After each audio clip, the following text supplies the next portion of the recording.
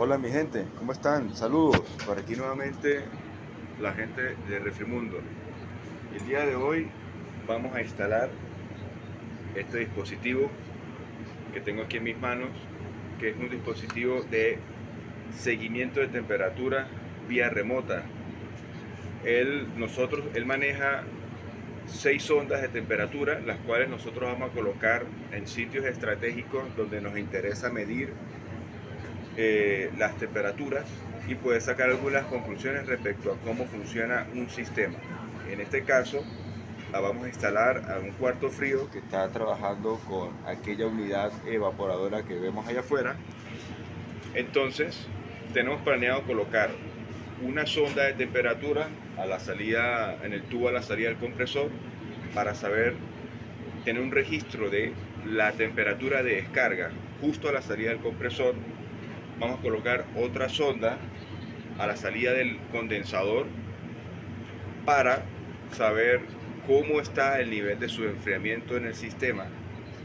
Igualmente vamos a colocar una sonda en el tubo que está allá a la entrada de succión, en la válvula de succión, igualmente para tener un registro de los niveles del recalentamiento y vamos adicionalmente a colocar una sonda a la entrada del evaporador y otra sonda a la salida del evaporador con el objetivo de verificar cómo es el, el, el rendimiento del evaporador a la entrada y a la salida.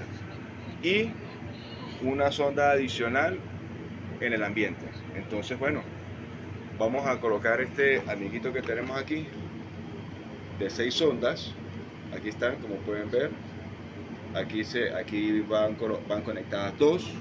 Aquí tengo conectadas otras dos más. Serían dos, cuatro y seis. Y aquí tengo para la alimentación de la corriente. Entonces, bueno, vamos a hacer las conexiones y les estaré mostrando los puntos donde queremos conectar las, las, ondas.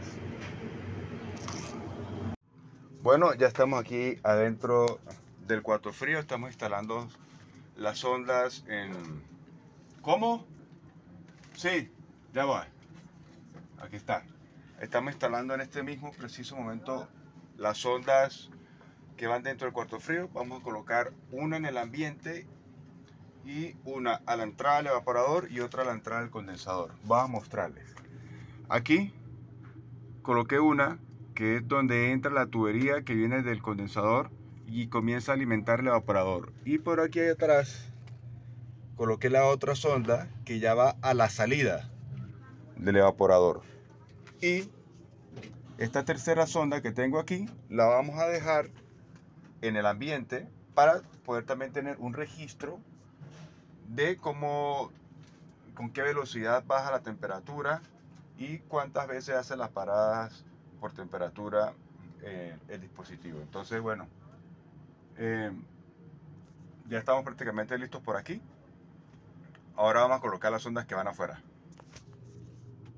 Ok, bueno, ya estamos aquí afuera. Estamos colocando las otras ondas que van afuera del condensador para tomar las mediciones que nos interesan. Una sonda la colocamos justamente, vamos a ver si se logra ver, ahí, en el tubo que sale de la descarga del compresor. Aquí tenemos la descarga, justamente aquí, en este punto, hemos colocado la sonda para medir la temperatura del refrigerante en la descarga del compresor.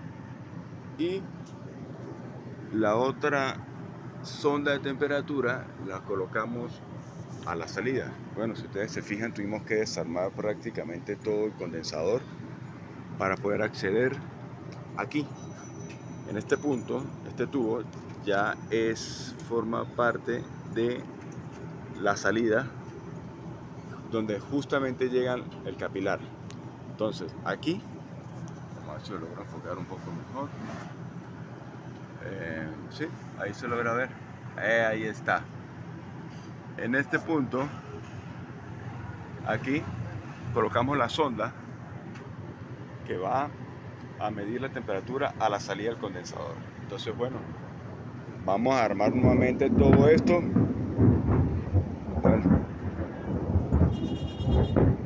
Bueno, no sé si escucharon, se un palo de agua. Fuerte.